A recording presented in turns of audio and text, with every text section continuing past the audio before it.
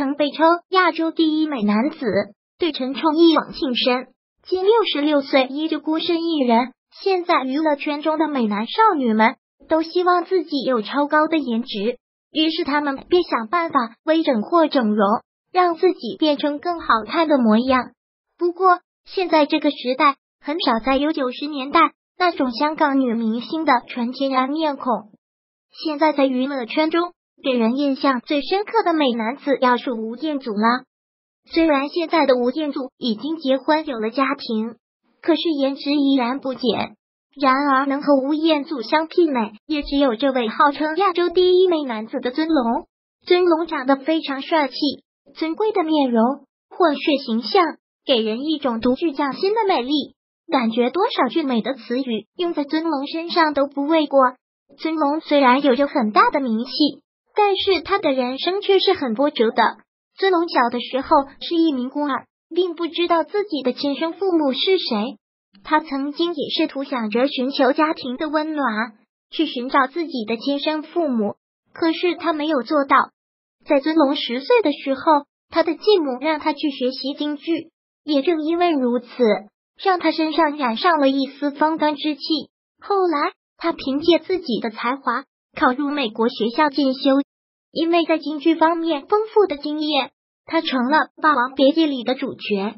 在当时能出演一部这样的影视剧，对于很多影星来说都是求之不得事情。可是尊龙却拒绝了这部影视剧的导演，导演还为尊龙不能出演这部作品而表示遗憾。后来就让张国荣演这一角色。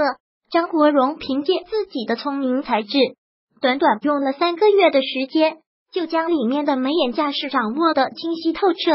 而且张国荣也因为出演这部剧，让观众们对他记忆深刻。尊龙演绎过很多出名的作品，不过值得一提的是《末代皇帝》。尊龙不仅人长得帅，在人品性格方面也非常的令人佩服。在感情方面，他用情专一，并没有因为自己帅气的仪表而沾花惹草。尊龙和他曾经的大学同学有过一段短暂的婚姻。后来，他在拍摄《末代皇帝》的时候，爱上和他一个剧组的陈冲，只是陈冲最终嫁给了别人。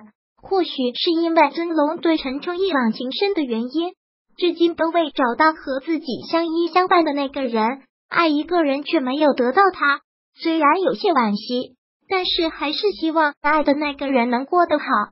如今六十六岁的尊龙依然孤身一人。如果没有遇见自己谈心论足的那个人，尊龙愿意一生一人。可见尊龙的感情观，对感情的忠诚度的确让人佩服。希望尊龙早日找到自己喜欢的那个人，有一个更幸福的下半生。如果喜欢本视频，请分享并订阅本频道，别忘了按赞哦。